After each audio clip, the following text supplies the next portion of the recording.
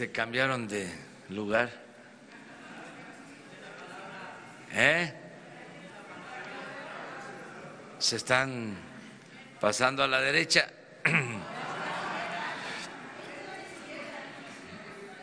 Bueno, em, como todos los días informamos a los ciudadanos a través de ustedes, representantes de los medios de información, que les agradecemos mucho por eh, asistir a esta conferencia diaria y por eh, transmitir información al pueblo de México.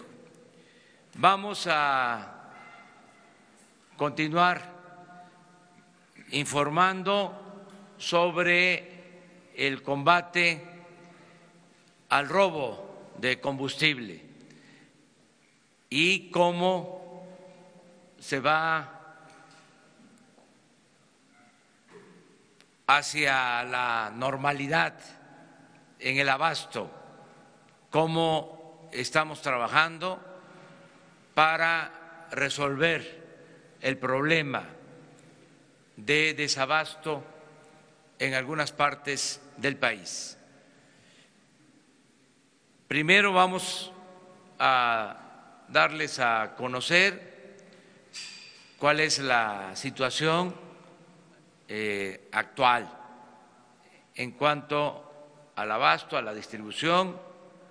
Luego, algo que ha sido muy importante, la vigilancia de los ductos.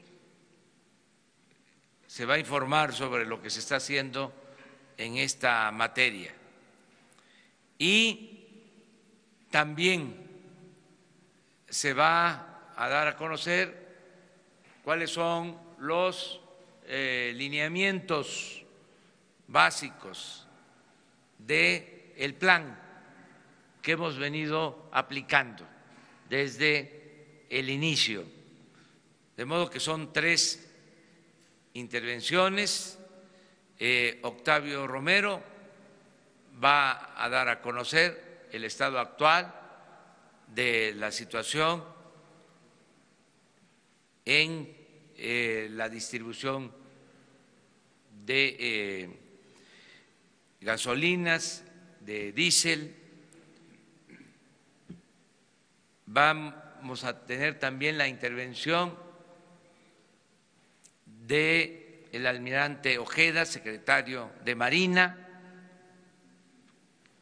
que con el apoyo de la Secretaría de la Defensa van a exponer sobre el plan de vigilancia y Alfonso Durazo, secretario de Seguridad Pública, les va a dar a conocer los lineamientos generales del plan de acción que se viene aplicando.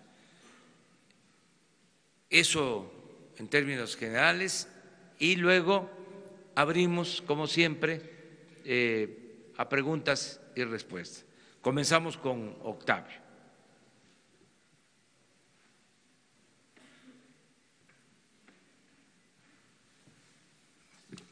Presidente. Buenos días. Comenzaríamos presentándoles eh, esta gráfica que marca eh, el robo de combustible.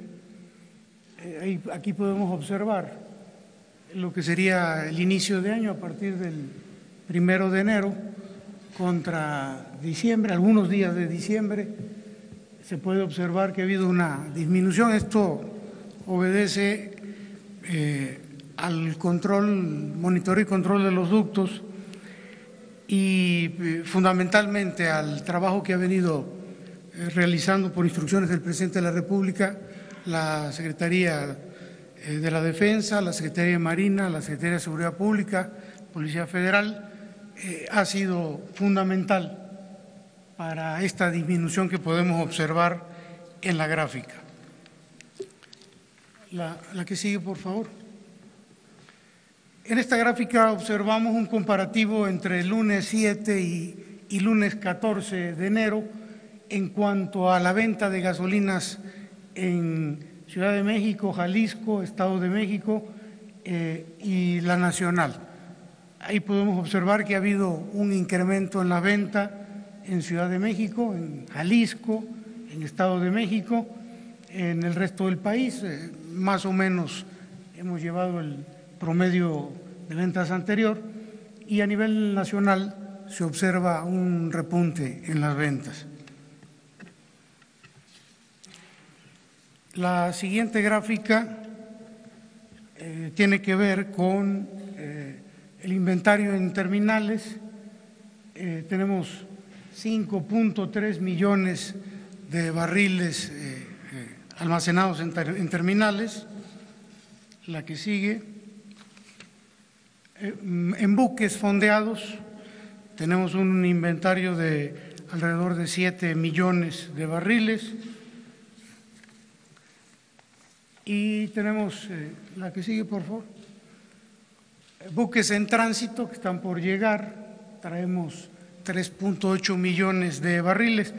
Esto para que ustedes sepan que no hay un problema de abasto de combustibles, hay combustible suficiente. Eh, en el caso de algunos de los ductos que hemos eh, echado en operación y al mismo tiempo que se han salido de operación, comentarles que uno de los principales, y no es que el principal, el Tuxpan Azcapotzalco, que alimenta eh, la Ciudad de México y la zona metropolitana. Afortunadamente logramos echarlo otra vez después de que nos los picaron, de que nos los boicotearon. Está funcionando eh, normalmente a razón de 170 mil eh, barriles diarios. en el caso del ducto Tulas-Capozalco, que abastece con diésel también a la misma zona. Sufrimos un, un, piquete en el ducto a partir de las 12 de la noche de, ayer hoy, hoy, y lo tenemos suspendido. Esperamos eh, echarlo a caminar de nueva cuenta en las próximas horas. Un poquito más drástico es el caso del eh, ducto Tula-Toluca, que ha venido sufriendo muchos eh, robos. Ahí eh, el 15 de enero fue el último piquete que le dieron. Ahí se había iniciado, se había reiniciado la operación en el ducto y a las dos horas nos dimos cuenta que no llegaba ni un solo barril, todos se lo estaban extrayendo, todo lo que se le estaba bombeando era extraído en, un, en una zona eh, ubicada en el municipio de Tula, Hidalgo.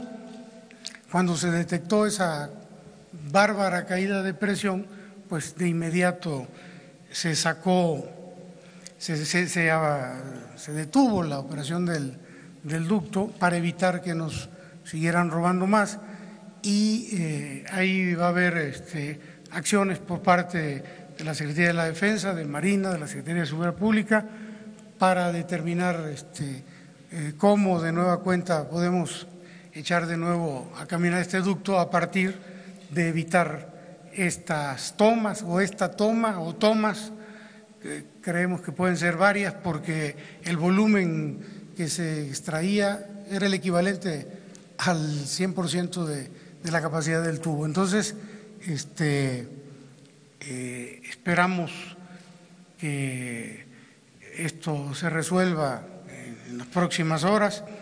En el caso de Tulas Capozalco, al que ya me referí, nada más comentarles que eh, ahora que nos lo echaron, que nos detuvieron por, el, por la toma clandestina, comentarles que esta toma está ubicada prácticamente en la zona urbana del Estado de México, municipio de Choro Campo, y eh, se dificulta eh, identificar el lugar exacto de la, de la, toma, pero se está trabajando en eso.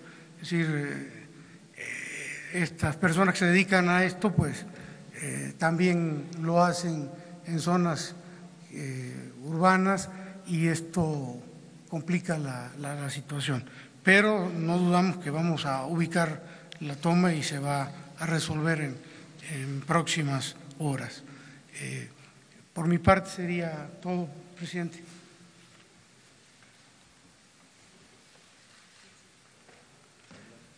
El almirante. Con su permiso, señor presidente. Con referencia a la vigilancia en ductos, permítanme comunicarles que el día de hoy tenemos aproximadamente 3.200 elementos en los ductos y digo 3.200 elementos porque ese número se va a ir incrementando en estos días. Les voy a poner un ejemplo, por ejemplo, el Tuspan Azcapotzalco. No, ese no es. en el Tuxpan Azcapotzalco tenemos alrededor de 800 elementos distribuidos a lo largo de todo el ducto y ese ducto el día de hoy va a cumplir 72 horas de que está bombeando y no se ha interrumpido su, el flujo. Es una, una situación que no se daba hace muchos meses. Eh, por ejemplo, el día de ayer a las 22, 12 horas aproximadamente, personal que está haciendo la vigilancia a través de ese ducto detectó movimiento de eh, personal eh, que iba a robar sobre una toma. Afortunadamente se llegó a tiempo y esos elementos salieron corriendo junto con las camionetas que llevaban. Ahí se puede ver, esa toma ya estaba lista para ser ordeñada, se evitó esa, ese robo. Esto es eh, dentro de una instalación de Pemex que rompieron el candado para meterse ahí. En cosa de minutos pusieron la válvula, pero afortunadamente nuestro personal eh, pudo evitarlo. Esas tomas ya están este, clausuradas, ya están bajo control de nosotros. El plan de vigilancia va a continuar. Vamos a incrementar el número de elementos a través de todos los ductos, de manera de que la idea final es nosotros tomar el control y evitar ya el robo de hidrocarburos. Eh, les dejo también ahorita la voz aquí a mi general para que dé otro tema con respecto a la vigilancia sobre ductos.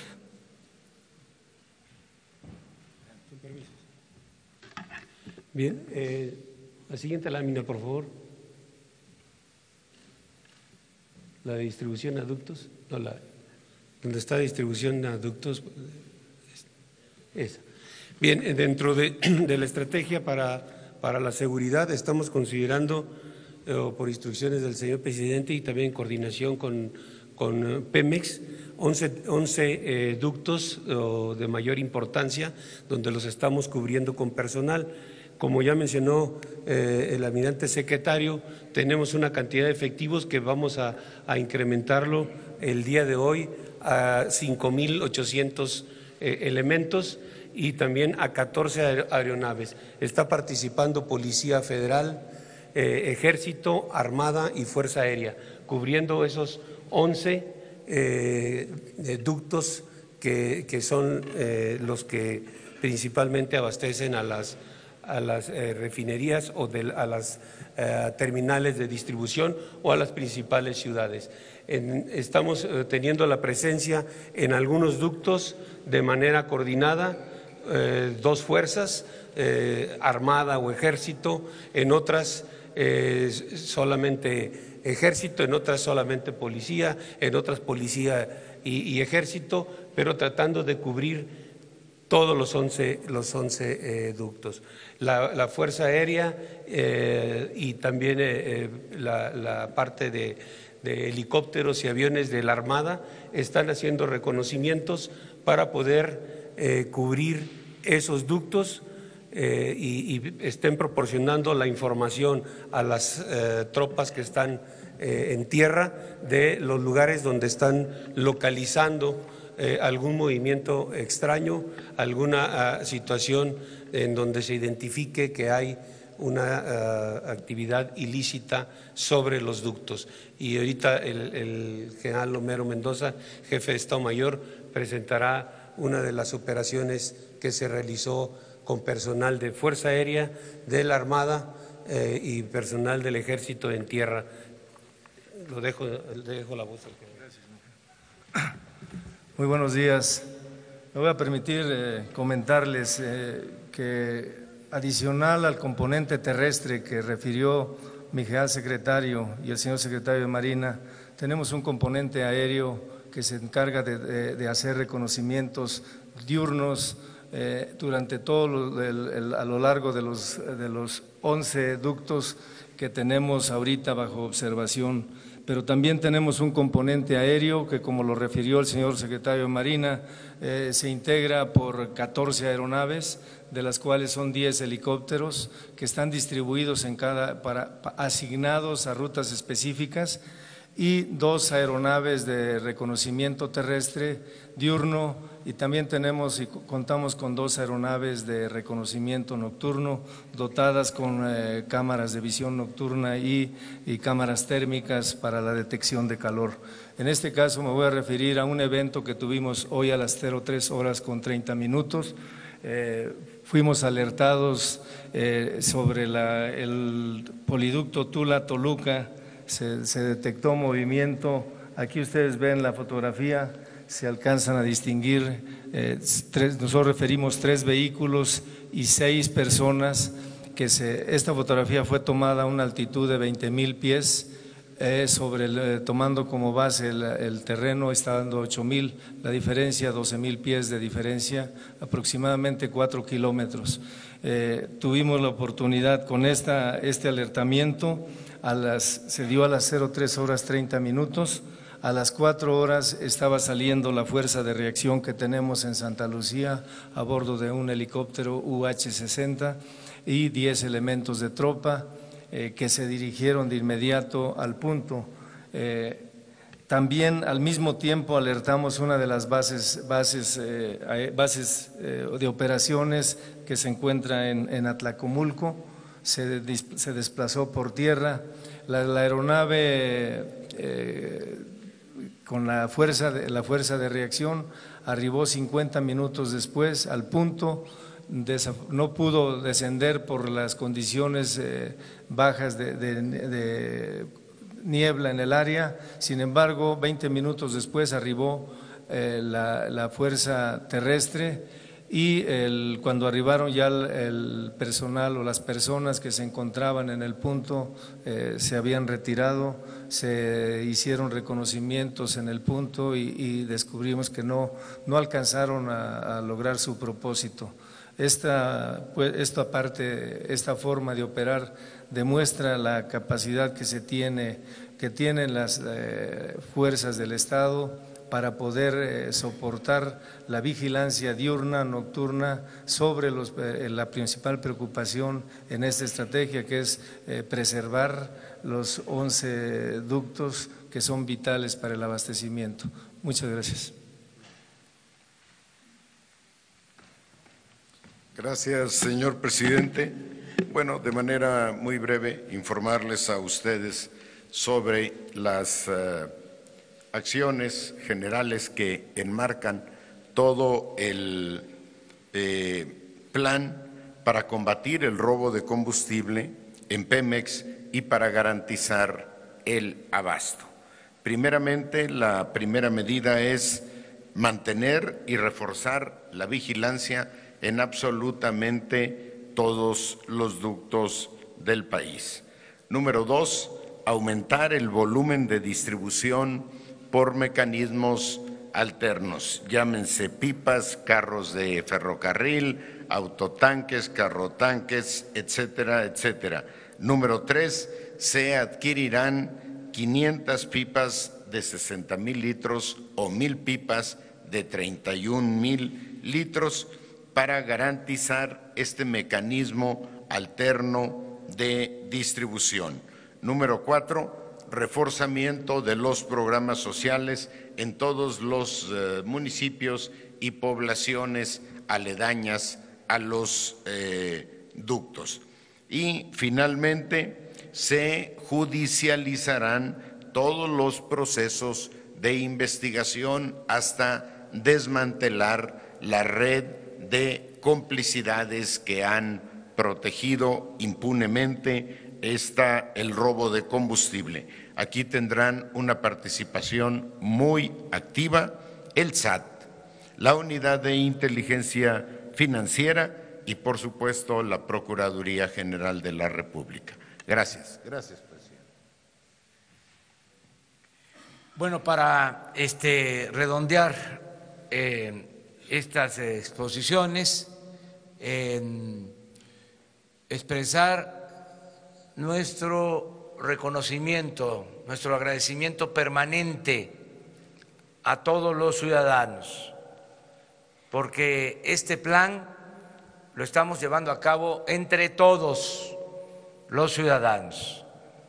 Entre todos vamos a vencer el robo de combustible. Entre todos vamos a vencer el huachicoleo. Todos estamos participando. Y ha sido fundamental, eh, si no es que más de la misma dimensión el apoyo de la gente en todo este plan, por su paciencia, porque nos han eh, respaldado aguantando las molestias que significan las colas para cargar combustible. Ha sido extraordinaria la respuesta de la gente. Así, los abrazo a todos, porque ningún gobierno podría solo enfrentar un flagelo como este robo descarado eh, excesivo, impune de gasolina, de diésel, de combustibles que se llevaba a cabo. Solo con la gente, con los ciudadanos. También decirle a quienes nos están ayudando que estamos conscientes de que debemos de resolver rápido lo más pronto posible. Que no porque nos están ayudando y es una buena obra, una buena misión, el que todos acabemos con la corrupción, con el cáncer de la corrupción en el país, que nos vamos a este, dilatar mucho. No estamos este, durmiendo, estamos trabajando para regresar a la normalidad lo más pronto posible. Como lo mencionó aquí el secretario de Seguridad Pública, tenemos un plan que se está aplicando y que lo estamos eh, evaluando diariamente. Dos veces al día nos reunimos de 6 a 7 de la mañana y de 9 de la noche hasta las 11 y 12 de la noche para hacer los cortes. Y está trabajando todo el gobierno. Recapitulando lo que aquí planteó Alfonso Durazo, primero, la vigilancia. Que no nos saquen los tubos, los ductos de operación, el mantener eh, eh, el transporte de combustible, los 170 mil barriles diarios de Tuxpan a Azcapotzalco, que es fundamental. Hasta ahora, como aquí se informó, se está sosteniendo ese, ese ducto. Después de varias acciones de sabotaje. Ayer, eh, alrededor de las 10 de la noche, estábamos en reunión y se informó de que se evitó este, un sabotaje por la presencia de elementos de la Secretaría de Marina. O sea, no pudieron sacarnos el ducto de operación. Entonces, la vigilancia, esto es importantísimo. Se está haciendo de manera profesional, de manera conjunta, coordinada, el Ejército, Marina, la Policía Federal. Esta es una garantía, porque eh, mediante esta acción se evita un agravamiento de la crisis. Está garantizado de que vamos hacia la normalidad. Ese es el piso, es la base. Ya tenemos esta vigilancia, como eh, se ha informado. Lo segundo es que estamos actuando para eh, tener transportación adicional. Se está eh, trabajando con transportistas, eh, se está ya en acuerdo con empresas ferrocarrileras para aumentar el volumen de transportación de combustible, en el entendido, como aquí se expuso, de que tenemos combustible suficiente en las terminales. No hay desabasto a nivel nacional, es un problema de distribución, porque existía un mercado negro. Incluso estamos eh, vendiendo más combustible que antes, porque eh, se está abasteciendo también eh, lo que era el mercado negro, como ya no pueden robarse lo que se estaban robando, ahora eh, Pemex está facturando más aunque parezca este, increíble esto que les estoy planteando. Entonces estamos enfrentando todo el mercado negro y por eso este desajuste en el abasto. Se requiere, eh, decía, ampliar la capacidad de distribución y esto se está logrando de dos maneras. Eh, se van a rentar eh, pipas, el acuerdo con el ferrocarril para el transporte de combustible y lo otro, que es muy importante, eh, la adquisición de 500 pipas de 60 mil litros cada una o mil de 30 mil litros.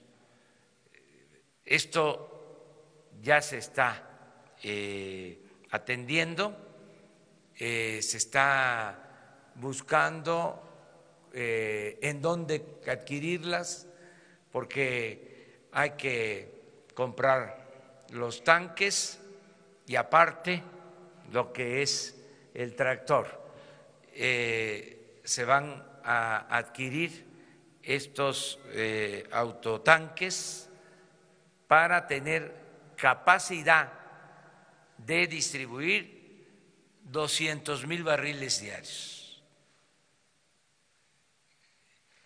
Lo otro que se está haciendo también es el proyecto de crear nuevas terminales de almacenamiento.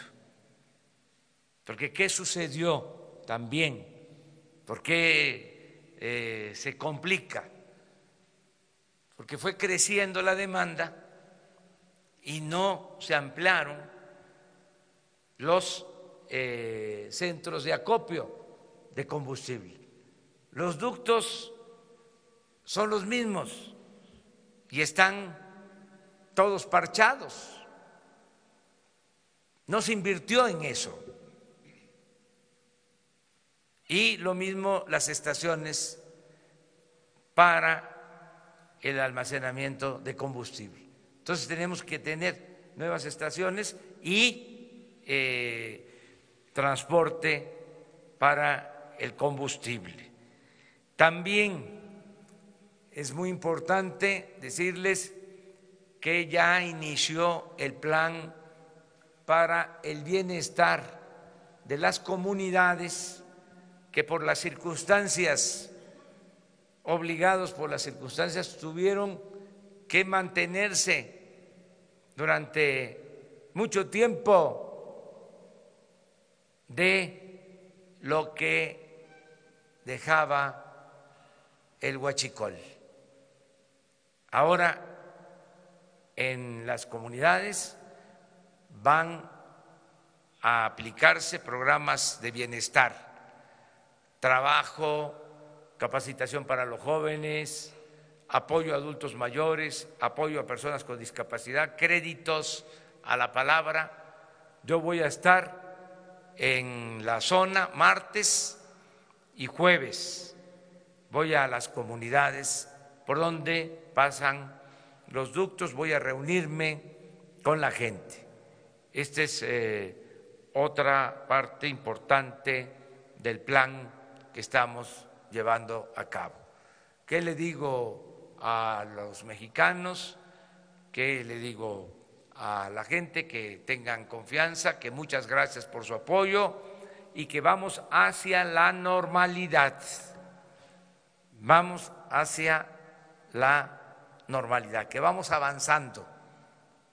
No podemos eh, echar las campanas al vuelo, pero sí decirles que tenemos control de la situación, tenemos las riendas en las manos, que tengan confianza que esto lo vamos a resolver y que lo vamos a resolver fundamentalmente por el apoyo, la cooperación de todos, por la paciencia de todos los que hacen las colas, los que ya de manera voluntaria están cargando solo lo necesario, lo indispensable, el día que les toca, ya esto se está llevando a cabo, se está experimentando y está bajando eh, la presión en la ciudad, en la zona metropolitana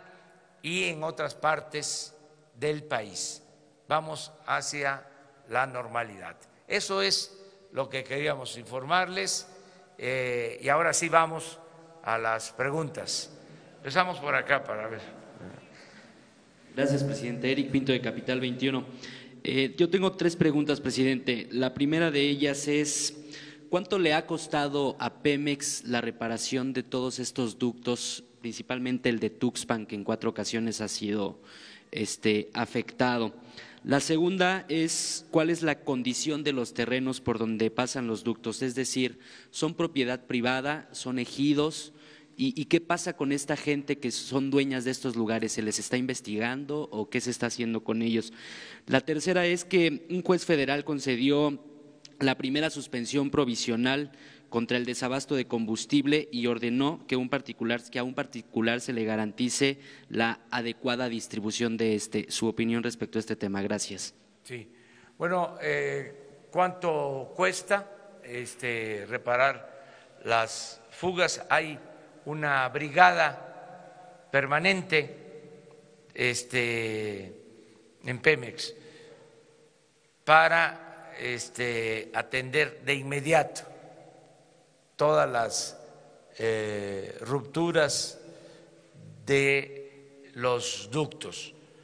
Una brigada compuesta por muchos grupos de trabajo que de acuerdo a las alarmas en los monitores eh, de inmediato este, interviene para reparar eh, los ductos son trabajadores eh, de base o transitorios que tienen esa labor, esa función en Pemex.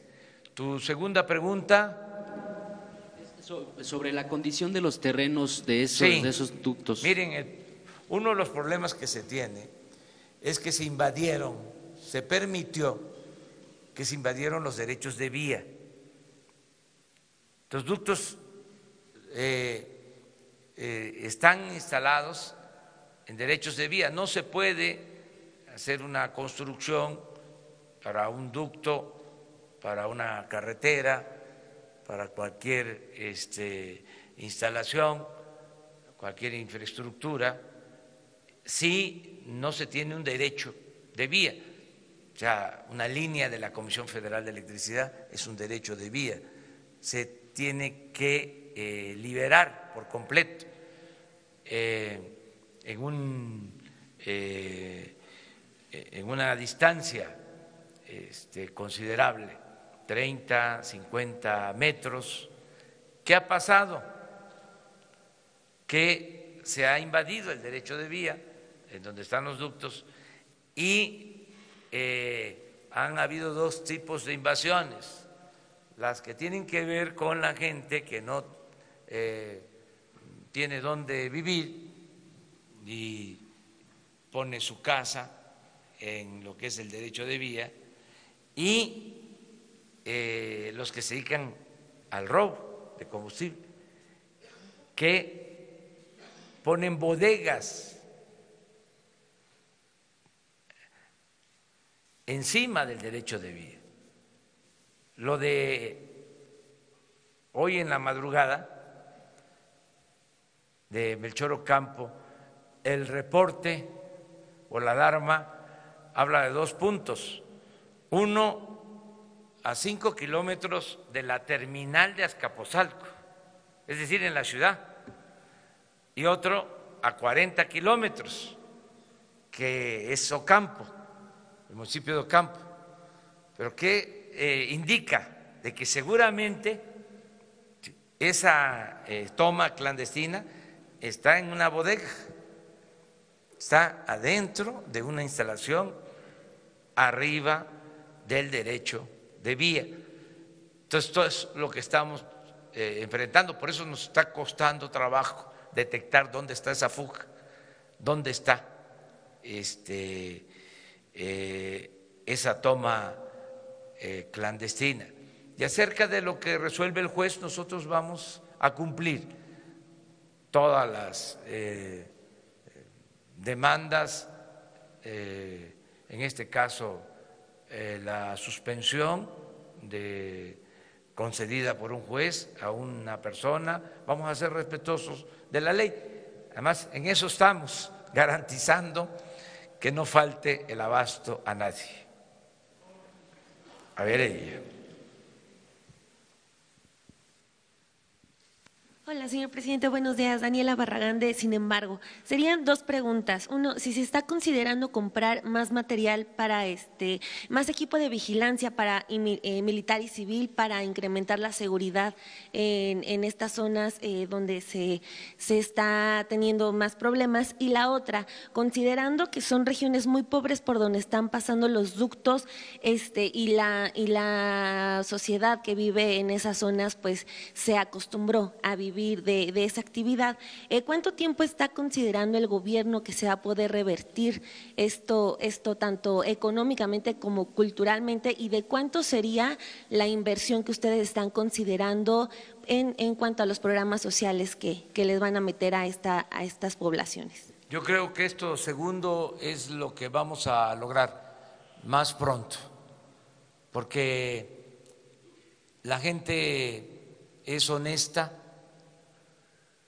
y está acostumbrada a buscarse la vida eh, trabajando de manera eh, legal, digna, nada más que fueron abandonados por completo. Por eso eh, los indujeron a tomar el camino de la ilegalidad. Pero eh, vamos ahora a aplicar un plan integral. Todos van a tener trabajo, eh, todos los jóvenes van a ser contratados, van a estar de aprendices en actividades productivas, tanto en el campo como en la ciudad. Eh, viene un programa que hemos denominado de tanda para el bienestar. Se los explico, el que tenga un pequeño negocio eh, va a recibir un crédito y va a tener un periodo de gracia y luego va a empezar a pagar ese crédito mensualmente, terminando de pagar al año, ya va a tener derecho a una cantidad mayor para que se ayuden. Eh, tenemos tres millones quinientos mil solicitantes en el censo que estamos realizando. Estamos hablando de la micro y pequeña economía familiar, que no tiene acceso al crédito porque les cobran mucho de interés. Estos son créditos a la palabra sin intereses, por hablar de un programa. Todos los eh, estudiantes de familias de escasos recursos económicos estén en educación básica, en, educación media superior, educación superior, van a tener su beca. Entonces, esto eh, nos va a ayudar mucho. Estoy seguro que vamos a contar con la gente, como ya estamos contando con la gente, también en esos lugares, porque la gente se está replegando. Están llegando los que se dedican a estos ilícitos los traviesos a decirles, a ver, aprovecha, trae tu cubeta, eh, aquí vas a tener este combustible para vender. Y ya la gente no les está haciendo caso, no los está protegiendo. Y vamos a lograr pronto que eh, se tenga una forma eh, eh, justa de vivir, que ese es el propósito principal. Tu otra pregunta. Sobre si tienen ya eh, pensado algún monto de inversión para comprar más material de seguridad y vigilancia. Sí, pero ahora básicamente es la compra de las pipas, porque ya se tiene un sistema en los ductos principales de monitoreo y de alarma. No es un asunto tecnológico, es que sonaba la alarma y a veces se tardaba todo el día sonando y no se hacía nada. O sea, no es un asunto de falta de tecnología, es que no había voluntad para enfrentar el problema. O sea, el equipo es de lo más moderno y se tiene en los principales ductos. Ahora es eh, que se utilicen bien los equipos y que se le haga caso a la alarma, porque se puede advertir cuando se llena un ducto este, y empieza a funcionar, a fluir, y cuando se baja la presión, esto de el ducto eh, Tula-Toluca, que se llena y al poco tiempo eh, se queda sin presión, porque se lo chuparon se chuparon todo el combustible, porque es una coladera, porque a lo largo del ducto tienen las instalaciones para eh, robarse el combustible. Entonces, no se abren los ductos si no tenemos vigilancia y si no cuidamos que eh, se evite el robo de combustible.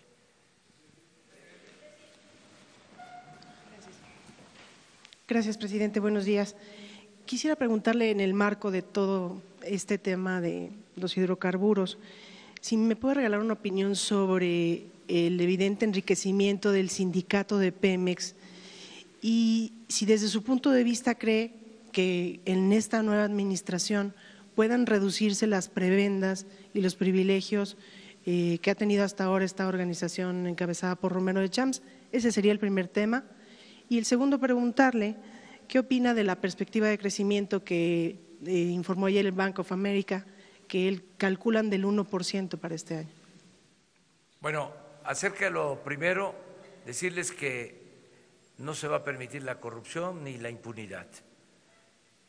Y se está eh, investigando todo lo relacionado con actos de corrupción y de manera especial todo lo vinculado con el robo de combustible. A todos, a todos en general, todos los que eh, intervienen en eh, las actividades de distribución, venta de combustible, vigilancia a todos. No queremos eh, alebrestar, no queremos eh, hacer escándalo, no queremos el sensacionalismo, queremos actuar con mucha responsabilidad. Pero también esto significa que no va a haber impunidad. Trátese de quien se trate. Se acabó la corrupción y se acabó la impunidad, pero sin show, sin espectáculo y también sin afectar la dignidad de las personas, no fabricar delitos, no utilizar eh, el gobierno con propósitos políticos, no porque ahora me estén pidiendo, a ver, castigo a los responsables, yo doy una instrucción a el secretario de Seguridad Pública, al director de inteligencia financiera, incluso, aunque no puedo dar instrucciones, este, sugerir eh, amablemente al procurador, ahora fiscal general, que se actúe en contra de una persona, no, eso no lo voy a hacer. Eh, va a ser a partir de pruebas de investigación. Pero en general, sin privilegios para nadie. se acabaron eh, los fueros y los privilegios. Acerca de la proyección sobre crecimiento económico, yo tengo otros datos. Respeto, desde luego, a quienes eh, sostienen que eh, no vamos a alcanzar nuestras metas de crecimiento económico. Yo estoy seguro que nos va a ir muy bien, porque miren, nada más quitarle, como dicen los tecnócratas, este, toda la variable de corrupción al crecimiento. Todo esto va a ayudar mucho en el crecimiento. Y estoy optimista porque llevamos dos días eh, en que se está apreciando el peso. Voy a dar un dato. Desde que llegamos a la fecha, en 45 días aproximadamente, se ha apreciado nuestra moneda en un peso 30 centavos con relación al dólar. Y es el peso una de las monedas que más se ha apreciado en el mundo. Estamos muy bien, por eso también estamos resistiendo la crisis que significa el robo de combustible. y este, vamos a ver el resultado. Qué bueno, ¿no? Que hay esas proyecciones. Yo lo único que pido es seriedad en eh, analistas, en quienes hacen eh, esas proyecciones, porque si no, a ellos les afecta, se desprestigian. Y yo acepto los desafíos. Si ellos dicen, a ver, 1%, yo digo más de dos. O sea, digo el doble. Y está grabado. Entonces vamos a ver eh, quién tuvo la razón. Pero, presidente, solamente en el tema del sindicato petrolero, puntualizar este tema de si se pueden terminar con las prebendas que han enriquecido al sindicato, cambiando las negociaciones del contrato colectivo, revisando. Todo se puede hacer y se está haciendo. Por ejemplo, había áreas en donde no podíamos eh, intervenir y ahora eh, se está eh, interviniendo.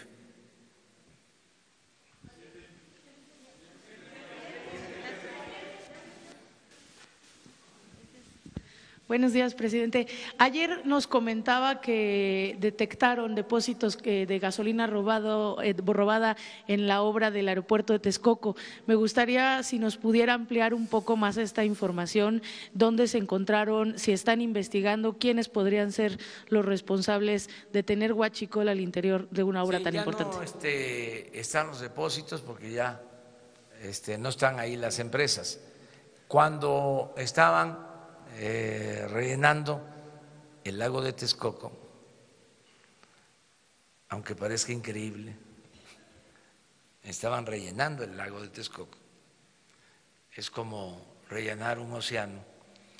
Este, había venta de eh, combustible robado y tenemos constancia de eso, porque se hizo una inspección en la zona y se vendía combustible. Además, es hasta de dominio público. Se los dejo de tarea. Investiguen, pregúntenles a los eh, constructores, a los que hacen caminos, pavimentan caminos, cómo se abastecían de diésel. Ah, este, no estoy hablando de todos, además no es para que nadie se sienta este, culpable, es que se estaba convirtiendo en una práctica normal. Esto fue una sacudida porque se veía ya normal, les decía yo, de que en la carretera de Puebla a la Ciudad de México, en la carretera de Veracruz a la Ciudad de México, este, con foquitos alumbrando para ofrecer gasolina robada. Entonces, eh, hay hasta corridos que se hicieron al huachicol. Por eso es muy importante la eh, reacción de la gente. Esto demuestra eh, el gran potencial en honestidad que tiene nuestro pueblo. La mayor riqueza de México es la honestidad de su pueblo. Eso es lo más importante de todo. Señor, en este tema de Texcoco, perdón que insista, ¿tiene, algún, ¿tiene más detalles? Es decir, ¿cuántos depósitos había ahí al interior de la obra del aeropuerto? ¿Quiénes son los responsables? Le damos este, más información. ¿Sí? Ahí, ella. Yo le quiero preguntar en torno al programa de las tandas que anunció para este tema. Eh, ¿Qué dependencia va a estar a cargo? Porque en la Secretaría de Bienestar dijeron que no tenían información y en Economía dicen que no es el mismo que ya tienen de crédito para el bienestar. Eh, ¿Cómo será la dinámica para entregar los apoyos? Eh, ¿Y a cuánto asciende el presupuesto para este programa? Y pues básicamente sería eso. Y las entidades que están o municipios que están analizando dónde se van a reforzar los programas sociales de la ruta del Huachicol. Bueno, eh, la tanda. Son dos eh, acciones, una eh, en general para solicitantes de crédito y otra para pobladores que solicitan crédito que viven en zonas mineras. En total es un presupuesto de seis mil millones de pesos.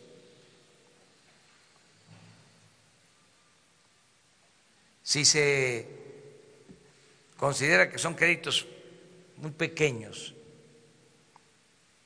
de seis mil pesos, estamos hablando de un millón de personas que recibirían este apoyo. Si un pequeño comerciante necesita comprar un refrigerador, necesitan una estufa, necesitan un triciclo, lo que se requiera. Se les da ese apoyo, transcurren tres meses, empieza a pagar 500 pesos mensuales, sin intereses, en un año termina y ya recibe más. Con un sistema de tanda sin intereses y en la medida que tengamos más recursos se va a apoyar. Tuvimos la experiencia cuando fui jefe de gobierno, se otorgaron estos créditos y hubo una recuperación altísima, porque la gente, volvemos a lo mismo, es honesta.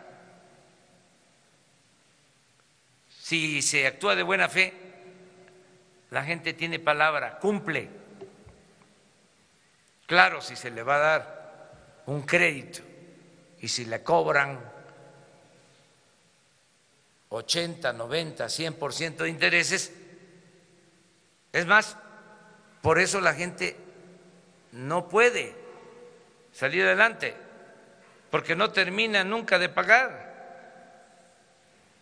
Entonces, esto es distinto, porque es un apoyo.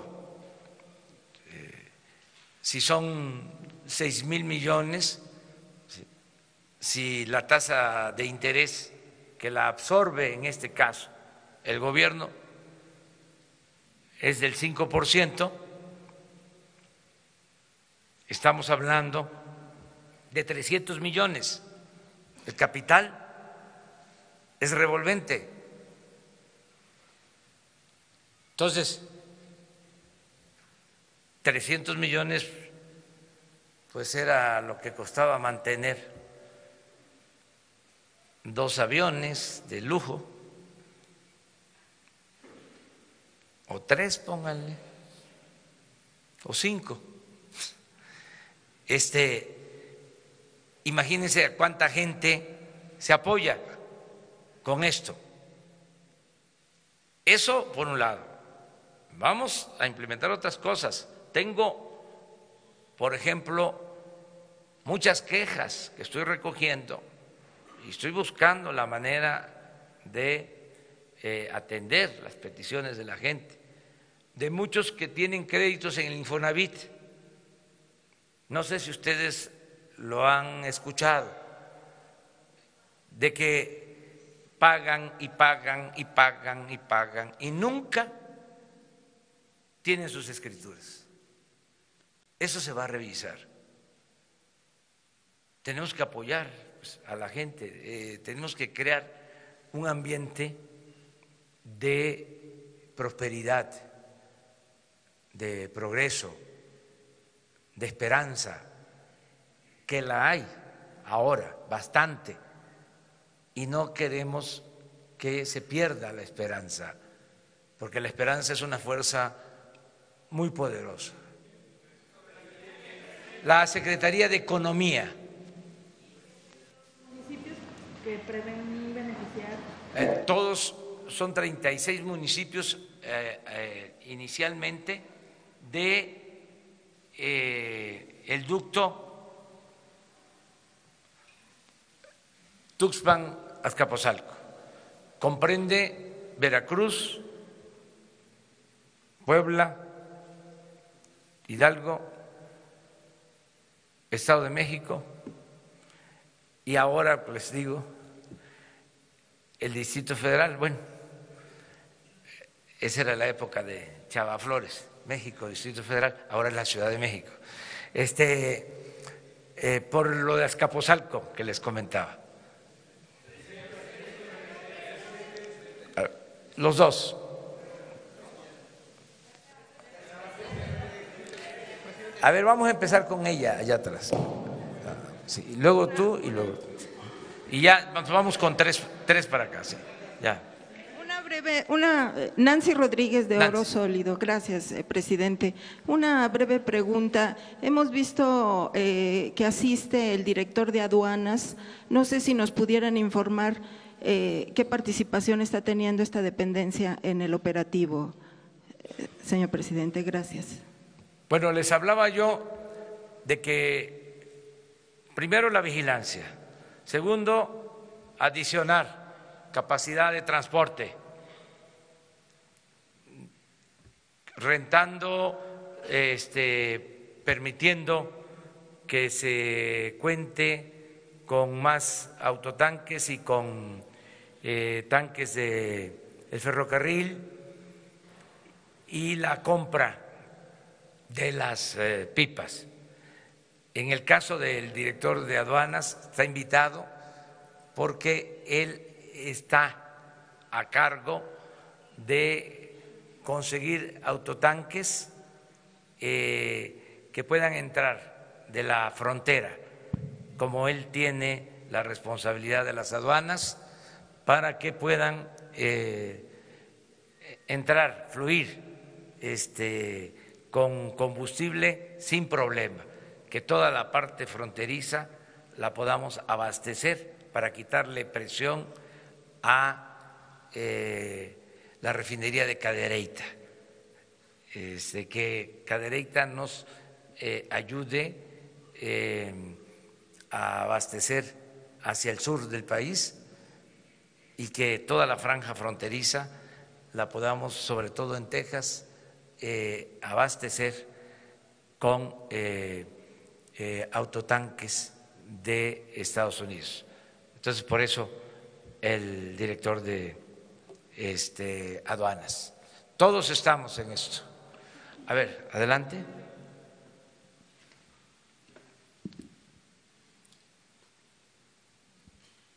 Y se preparan tres que nunca hayan pre- preguntado de acá. Eduardo García de Infocel y Sentido Común. Sobre las pipas, eh, se dice, presidente, que, el sindicato tiene pipas. eh, este negocio lo maneja el sindicato aparte. Supongo que las pipas las va a comprar Pemex y son para la empresa, ya no serán del sindicato. Y sí, esto reemplazará un poco esta actividad que hace el sindicato con sus propios vehículos. Sí, este, se está viendo. Eh, es a Pemex directamente eh, o a la Secretaría de la Defensa, porque la Secretaría de Defensa también tiene un sistema de transportación y queremos vincular la transportación con la vigilancia, porque van a ser pipas protegidas. Estamos hablando de que eh, ante cualquier circunstancia, emergencia, no falte el combustible.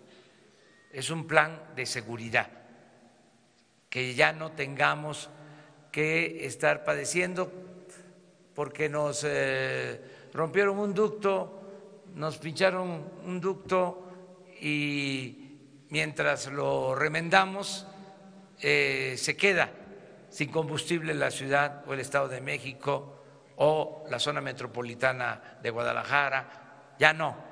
Es un plan B.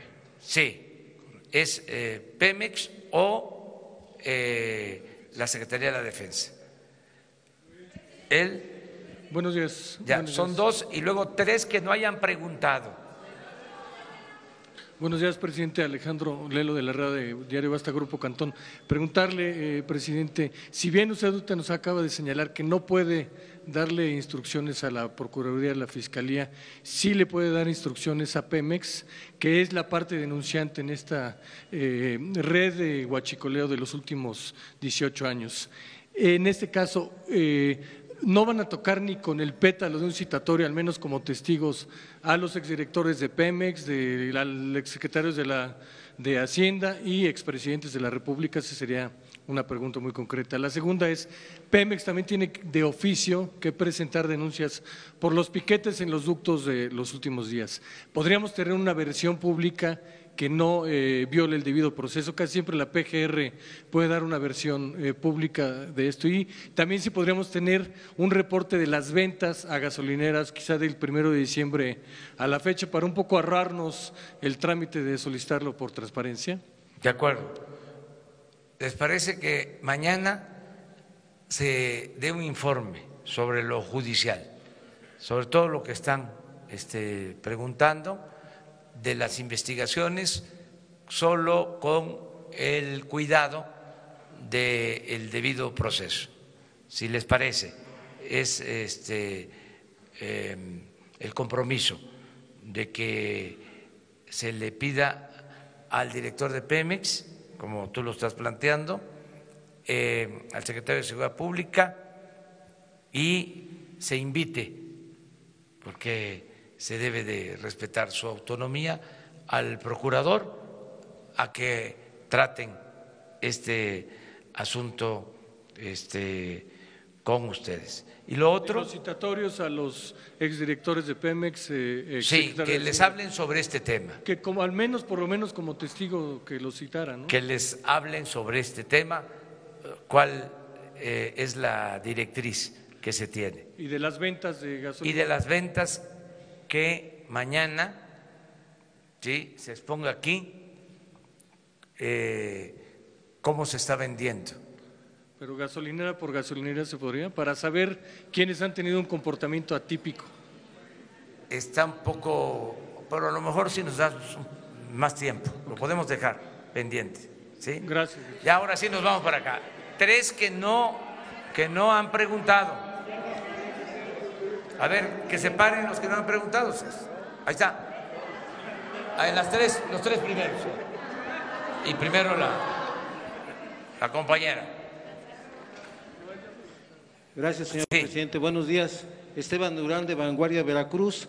El sector empresarial ayer manifestaba que, eh, pues dada la situación, no va a alcanzar eh, eh, pues el crecimiento que ellos se tenían estimado. Otra cosa, eh, eh, en el Estado de México y en Guanajuato, pues eh, se vieron muy afectados en el aspecto turístico, restaurantero y hotelero. ¿Habrá algún incentivo fiscal en este sentido? ¿Y cuánto es el presupuesto que tiene estimado para la adquisición de, de autotanques y si habrá licitación para ello? Gracias. Sí, este no va a afectar, al contrario, esta situación nos está, nos está fortaleciendo. Y un indicador es el fortalecimiento del peso. Claro que nuestros adversarios apuestan y los respeto mucho, ¿eh? los este, considero adversarios, no enemigos, pero cariñosamente les digo que este, va a crecer la economía y que estamos bien, que no hay eh, ningún problema. acerca del costo de las pipas, eh, tenemos el recurso que se necesita, eh, vamos a esperar la cotización, lo tenemos que hacer pronto, desde luego interviene en la compra eh, de estas 500 pipas, interviene la Oficialía Mayor de Hacienda, interviene Irma Heréndira Sandoval, que es la secretaria de la Función Pública, antes Contraloría, y interviene la eh, secretaria de Economía, Graciela Márquez. Las tres este, tienen esta encomienda, esta responsabilidad, y hacerlo de conformidad con la ley. Aprovecho porque esta conferencia la escuchan eh, muchos, la ven eh, muchos, tanto en medios convencionales como en redes sociales.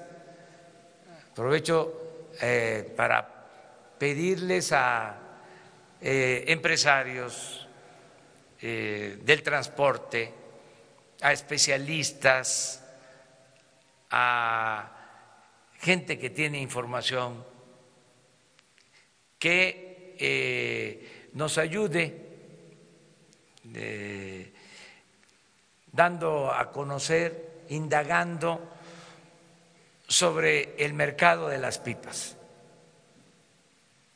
tanto en México como en Estados Unidos. Hago ese llamado.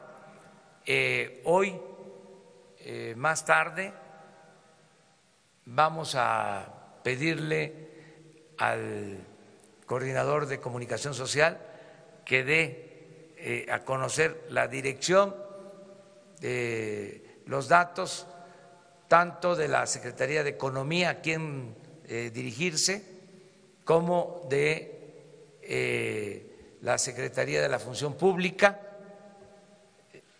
y eh, de Raquel Buenrostro, que es la oficial mayor de la Secretaría de Hacienda. Estas tres destacadísimas eh, profesionales, mujeres, son las encargadas, han estado eh, todo el tiempo sobre esto, anoche, hasta muy tarde, haciendo el planteamiento sobre la adquisición de eh, las pipas. Eh, señor presidente. Él, ella. Buenos días. Gracias de, de, la Agencia Informativa de Educación. Si nos puede comentar, ayer salió una lista de nombramiento de los directores de los medios públicos. ¿Esta lista se confirmará? ¿Están entre los nombres, por ejemplo, eh, Armando Casas? No sé si nos puede comentar sobre eso. Y otra cosa, ¿cuál es su opinión respecto a, la nueva caravana migrante de Honduras? Sí, bueno, acerca de lo primero se está eh, integrando todo lo que tiene que ver con la comunicación del Estado, porque, como ustedes saben, lo saben muy bien, este, hay mucha dispersión. Eh, hay estaciones de radio, hay canales de televisión, hay una agencia de noticias, o sea, hay varios organismos que tienen que ver con la comunicación del Estado y no actúan de manera conjunta, coordinada. Se está buscando que exista una coordinación entre todos los medios eh, del Estado, como se da en otros países, incluso ya existe hasta el instrumento eh, legal con ese propósito. Entonces, se van a integrar, claro, respetando la autonomía de cada medio y la libertad, porque nosotros no vamos a dar línea, no va a haber consigna, ni siquiera en medios que tengan que ver con el gobierno, ni en Notimex, pues, para acabar pronto. O sea, libertad plena, completa, cero censura. ¿Y lo otro que preguntabas? Sobre la caravana de Honduras. Sí, estamos dándole seguimiento, se está trabajando desde antes de que se constituyera. Se lleva un seguimiento, esto está a cargo de Migración, de la Secretaría de Gobernación, en particular de Alejandro Encinas, para eh, estar pendientes y hacer lo que corresponde.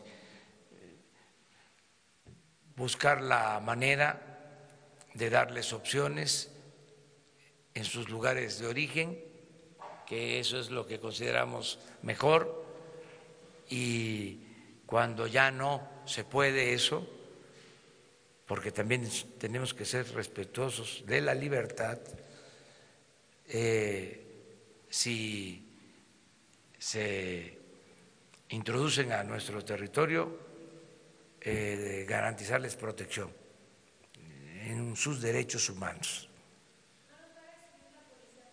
Como en las caravanas anteriores, presidente, no va a haber eh, ninguna resistencia de que tres solamente sería ordenado. Es un seguimiento este, buscando que sea ordenado. Eh, el ingreso en el caso de que los gobiernos de Centroamérica no hagan la labor de convencerlos de que se queden a trabajar y que les ofrezcan opciones alternativas de trabajo.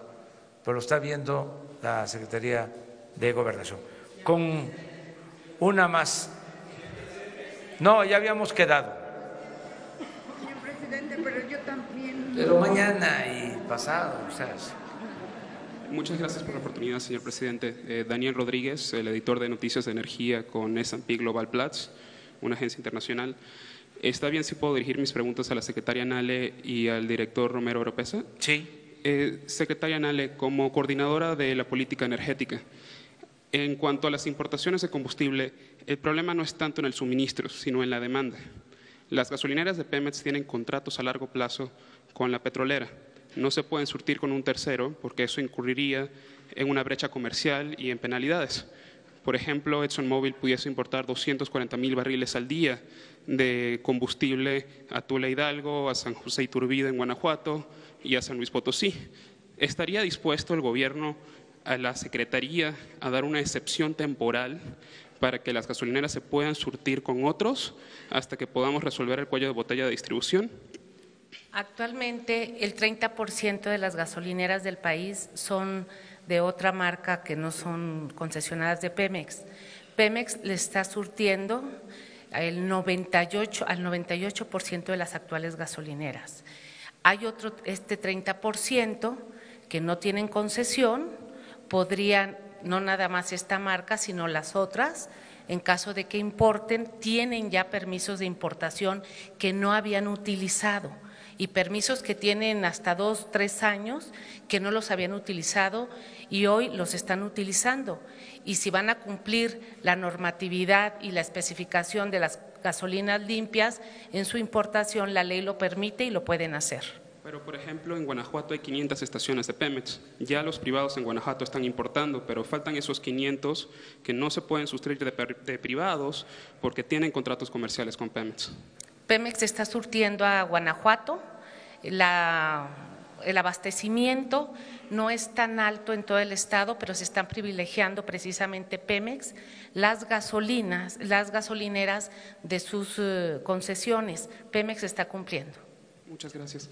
Director Oropesa, le quería preguntar a usted cuál es el estado de la refinería de Tula y de Salamanca y el suministro de crudo. La apertura de los ductos de Salamanca, Guanajuato, Salamanca, León, no van a ayudar a resolventar la situación si la refinería no está operando. Y parte de la ecuación es la importación de crudo ligero, ya que no hay en el país. Ya se presupuestó 90 mil, que se importaron 90 mil barriles en el presupuesto de egresos este, ¿cuándo se va a empe- empezar a importar el crudo ligero para que Salamanca opere y pueda surtir al occidente del país? Bueno, con relación a las refinerías de Salamanca y Tula, eh, hay un eh, problema ahorita en términos de un componente de alto octano que se requiere. El día de hoy precisamente van a llegar estos componentes y se va a reiniciar eh, la producción de gasolinas. Eh, Una pregunta, con lo que dijo el presidente ayer de que el huachicoleo se extendía más allá de la gasolina, vimos que, eh, quisiéramos preguntarle si hay robo de, de petróleo crudo, si, hay, si se está robando el, el crudo, porque se pararon varias refinerías y no habría habido razón para pararlas si no fuera porque se cortó el suministro de crudo. Esa es otra, es otra parte de, de la ecuación. Eh, en su momento el presidente va a instruir que comentemos alrededor de ese tema, pero eh, es una posibilidad el huachicoleo en el crudo. Muchas gracias, director. Miren, esta es una buena pregunta, eh, muy buena pregunta. Eh, ya quedamos de que aquí eh, es eh, educación para la libertad, eh, es aprendizaje conjunto, colectivo, sobre todos los temas. Es eh, hacer a un lado eso de que la economía es asunto de los economistas, ¿no? o la política es asunto de los políticos. No, Eh, la economía, la política es asunto de todos. Eh, lo que está sucediendo es que hay una pérdida en la producción de petróleo. Eh, la reforma energética resultó un, un rotundo fracaso. Y no es un asunto ideológico o político, son los datos duros, es la información. No olvidemos, cuando se aprobó la reforma energética, la producción petrolera era de dos millones doscientos mil barriles. Y dijeron que íbamos a estar para este tiempo extrayendo alrededor de tres millones de barriles. Y la triste realidad, la amarga realidad, es que se cayó la producción petrolera a un millón setecientos cincuenta mil barriles.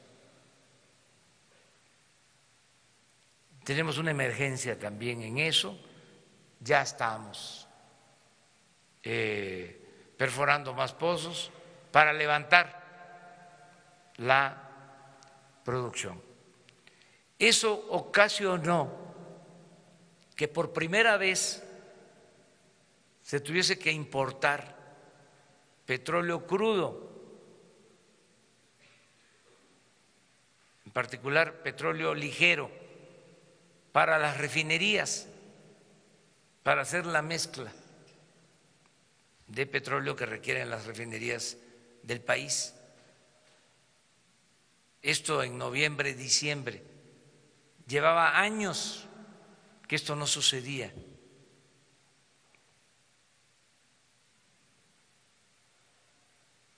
Entonces, tenemos que reponer la producción. Y hay dos opciones en tanto resolvemos esto. Compramos petróleo crudo, ligero, para las refinerías, o compramos la gasolina.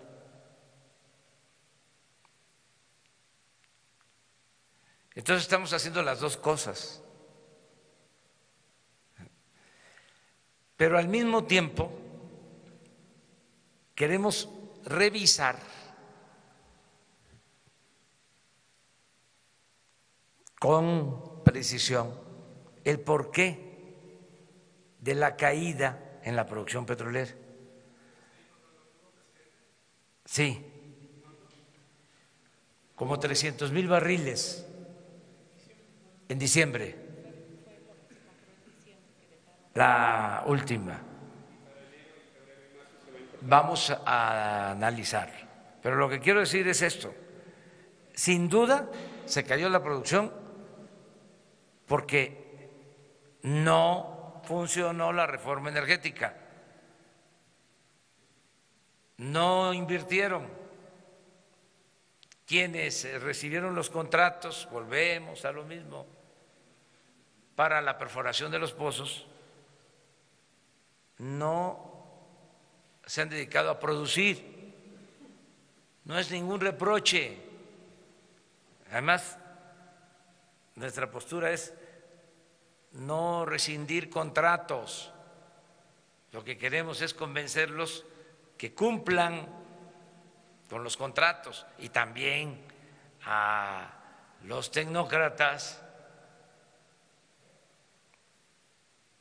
pues decirles que no hicieron bien su trabajo, lo menos que les podemos decir,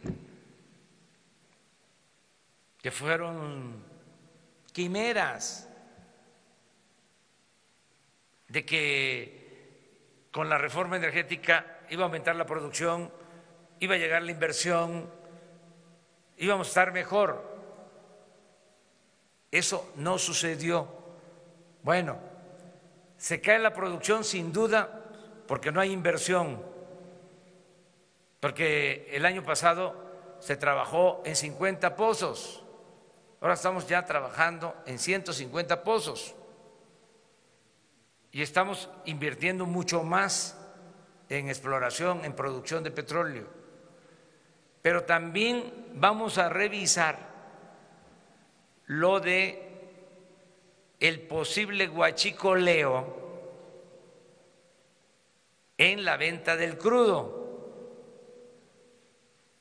porque nada más en la terminal de Dos Bocas estamos vendiendo, así como se tiene que comprar ahora crudo, pues se vende la mayor parte de lo que se produce del millón setecientos cincuenta mil, casi un millón está saliendo por dos bocas y queremos ver si es realmente un millón.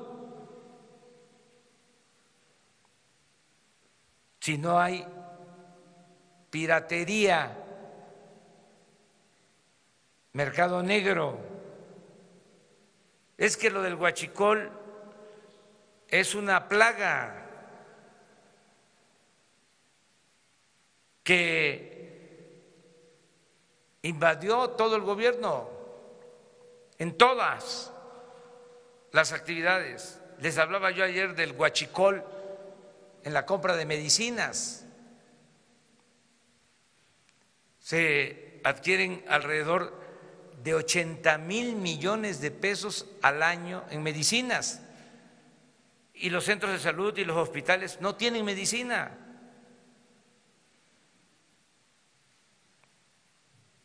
Todo eso lo tenemos que revisar. Por eso, qué bien que a la primera decisión de combatir el robo de combustible, la reacción de la gente sea de apoyo, porque juntos vamos a limpiar al país de corrupción.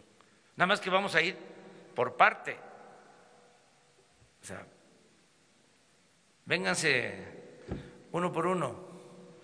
O sea, no un montón este, porque si no va a estar más complicado. Nos vemos mañana. Muchas gracias. Mañana.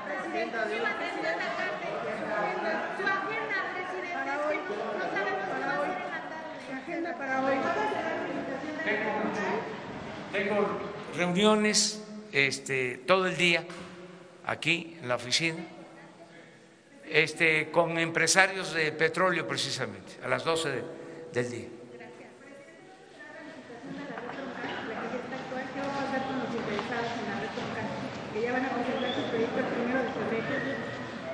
Mañana hablamos sobre eso.